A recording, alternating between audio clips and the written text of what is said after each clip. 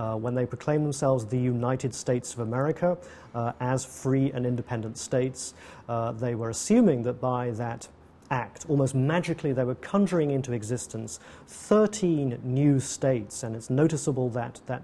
very name, United States of America, was a plural term until after the Civil War. Uh, it's only after the Civil War that United States of America becomes a singular, united, unified uh, group. But the assumption of the Declaration was that now 13 free and independent states, that is, 13 political bodies, had been created which could, as the Declaration says, do all things which other free and independent states may of right do to enter into treaties, to declare war, to make peace, uh, to engage in commerce. This was a legal document, and we might call it, in fact, an international legal document, a document of international law proclaiming the existence of new states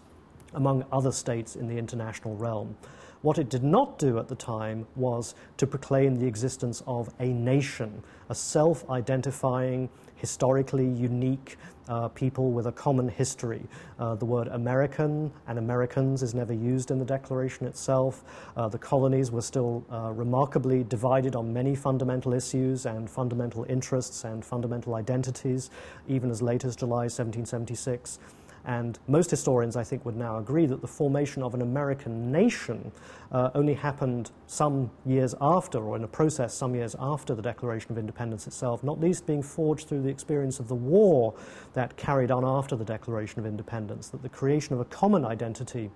took much longer, uh, perhaps going into the early 19th century, that wasn't one common American identity which led to a Declaration of Independence. The Declaration of Independence, by making the states, which would be, as it were, the political containers that would bring together different people in uh, the, uh, the, former American colonies began the process of creating a nation, a self conscious, self identifying group, but that certainly was not in existence in July 1776.